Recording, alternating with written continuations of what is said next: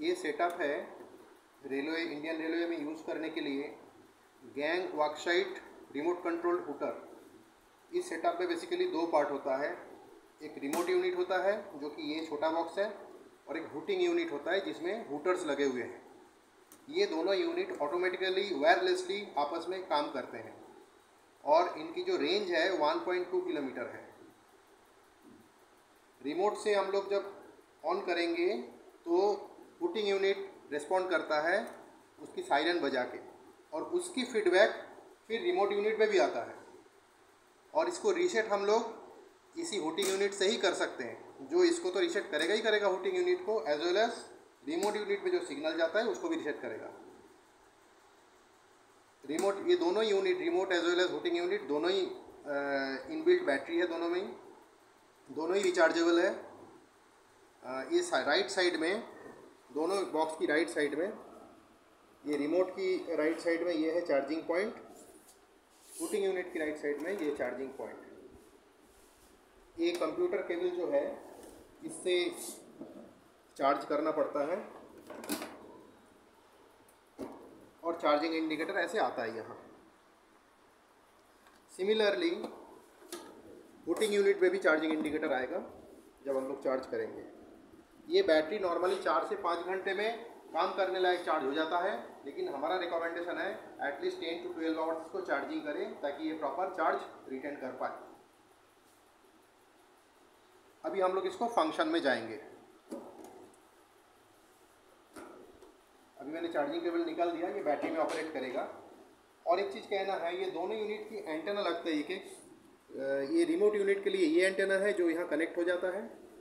और booting unit के लिए एंटेना यहाँ है, जो इस पॉइंट में कनेक्ट हो जाता है। ये दोनों ही पोर्टेबल है, ये हैंडल लगा हुआ है कैरी कर सकते हैं।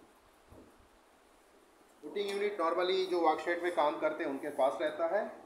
और रिमोट यूनिट या तो केबिन में रहता है, या जो कंट्रोल करेंगे, उनके पास रहता है।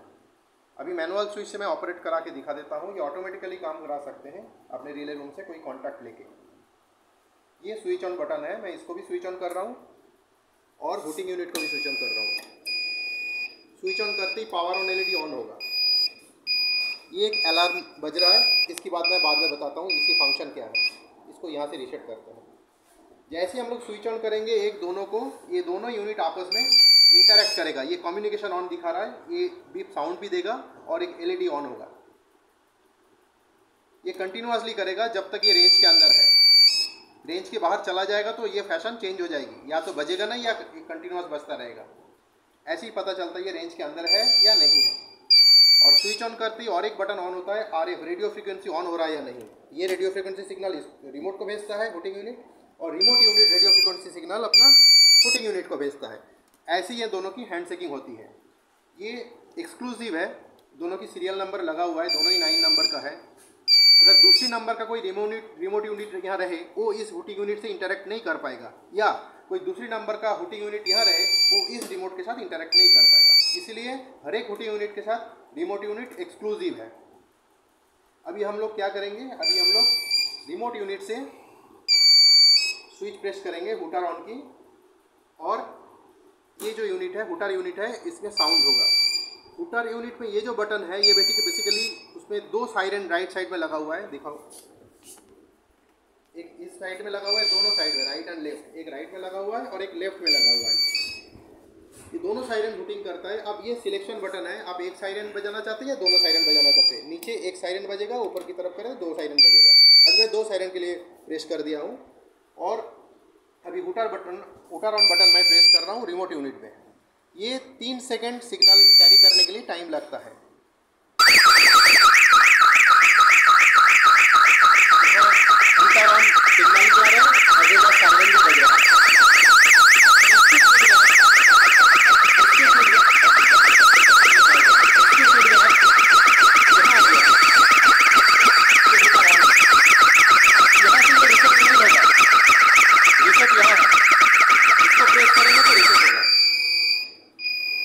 रीसेट हो गया ये hooter on as well as यहाँ भी रीसेट हो गया रिमोट यूनिट में। मतलब फीडबैक आ गया कि वो लोग एक्सेस कर लिया है।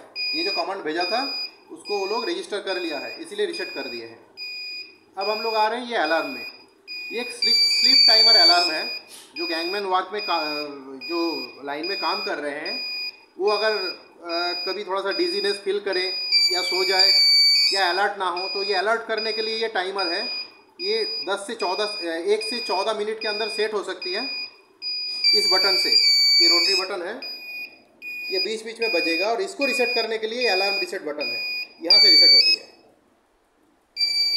ये जो कैरी करेगा वर्कमैन लाइन में जो कैरी करेगा, इसको अगर कभी देखना है, भाई, मेरा हूटर काम कर रहा है या नहीं? तो उसके लिए टेस्ट बटन भी यहाँ दिया हुआ है। ये बटन बजा, दबाएँगे तो भी ये बजेगा हूटर इससे ये फंक्शनलिटी पता चलेगा हाँ ये काम कर रहा है। अभी मैं बजा रहा हूँ। देखिए हूटर बजेगा यहाँ से मिलता है इस तरीके से ये काम करता है।